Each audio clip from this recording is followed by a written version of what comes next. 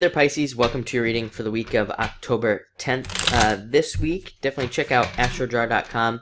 Uh, we've updated a bunch of things, added a bunch of new readers, and also partially fixed the signs section. So if you go to the site, click under signs and click on Pisces, it's a little more organized there, and you can definitely find awesome readers there, like Marie Moore, of course, and uh, also new readers like Ro Gemstones, who's awesome, one of my new favorites. So definitely check them out, support them subscribe to their channel and all that uh, because it will help them out. So uh, thank you for checking that out to everybody who already has as well. But let's see what's going on for Pisces this week of October 10th. And let's see here. Yeah, definitely uh, keep, you know, stay positive at the beginning of this week. Don't allow any disappointments or anything like that to uh, to get you down. Um, let's see here. Let me just look at this.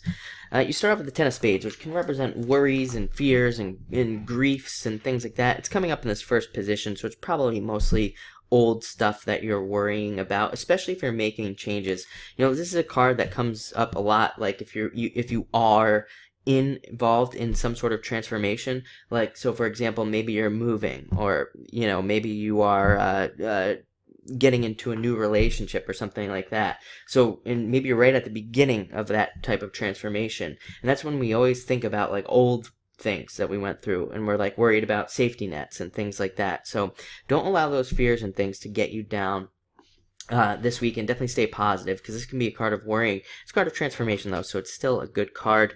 Um, and next you have the Ace of Spades, represents existing problems being resolved. So it does look like you will overcome a lot of these any obstacles really that you face and you'll blast right through them. This is an amazing transformation card. Pisces, I mean, you know, no doubt about it, definitely going through some major transformations. I mean, even in the astrology, there's a lot of transformational change type energy in a lot of ways. I mean, I think that, uh, you know, Jupiter uh, here entering into our eighth house is like a pretty big deal. Um, really, and I think a lot of Pisces will look back on, you know, this year um, from now till next October really as like a very transformational time, uh, definitely. So, especially once we get through November, when Neptune goes direct and things like that, I, you know, I, I just think it'll be, it's a great time for Pisces. So, uh, you know, just stay focused on that. But this is a big change card. Next, ace eight of spades. Uh, take it easy this week. Don't you know? Don't go crazy with work. Don't go crazy with uh, anything that you're doing. This is a card of working too hard and not taking enough breaks, not drinking enough water, not uh, you know, not taking care of yourself. Make sure you're getting plenty of rest, drinking plenty of water. Don't get sick. Don't allow it to happen. Also, with this card, watch the like drinking and overindulgence. This can be a card where you drink too much and you regret it and things like that. So just uh, try to mostly stay healthy this week if you can, um, and and you know also take a break when you need breaks with this card. This is a card of like vacation. So if you need a break, take a break. Next, you have the Nine of Clubs, though. Very good card of recognition and receiving recognition and achieving goals, and maybe achieving a certain goal that you've had as well. Uh, it represents progress towards those things. This can also represent new jobs, and uh, it is a card of more responsibilities as well. So we could take that and say, you know, more responsibilities. That could be a promotion. That could be a move. That could be uh, more money coming in as well, because that would obviously, um, you know, more money, more problems. That's what they say, right? Which is negative talk, by the way. So don't say that. But uh, it can definitely mean that you need to be more responsible and things like that. Also, a great card for ideas. Any ideas you have, trust your noggin there and uh, trust any ideas you have because you could come up with a lot of good stuff. Next, you have the Eight of Hearts. Eight of Hearts is another great card that can represent like a gift from the universe and getting some sort of gift from the universe. It can even be a card of you socializing. Get out there and socialize this week. Um, it, it could be important for you. This is also a great card for business, and um, it also is a card that allows you to be very good at negotiating and kind of like getting your way this week. So uh, don't be afraid to negotiate with people or you know try to get your way this week and things that you want to do. Other than that, it can even be a card of being kind of swept off your feet in love. So you might uh, meet somebody who really kind of sweeps you off your feet this week with this card.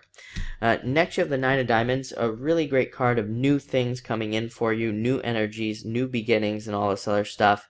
Uh, it can represent changes in finances. Um, it can even represent your finances raising, going up. You know, Jupiter, eighth house, can definitely increase our. It can increase the money that's going out, but it can also increase the money that's coming in. So, in a lot of ways, it can kind of take us to the next level financially. So, we might have to pay more for stuff or whatever, but we might also have more coming in to match it, anyways. And and and this card you know, can definitely uh, represent that for us as well. So, you know, that's a very good thing. And it can also represent things like inheritance uh, and those types of uh, payments coming in with the Nine of Diamonds. And finally, you have the Four of Clubs. Double check everything that you do this week. I call this card Mercury Retrograde. Kind of represents the same energy, just needing to double check everything you do, make sure everything's, you know, uh, correct, and make sure all paperwork's right and everything like that. But this is also a great card of uh, um, mental stability and more mental stability coming in, having us be more mentally stable and, and being able to see things actually more clearly as well. Um, even though rep- I call it Mercury retrograde, still it allows us to still see things more clearly, especially if we double check what we're doing. So it looks like a great week. Uh, so thank you for watching and enjoy your week.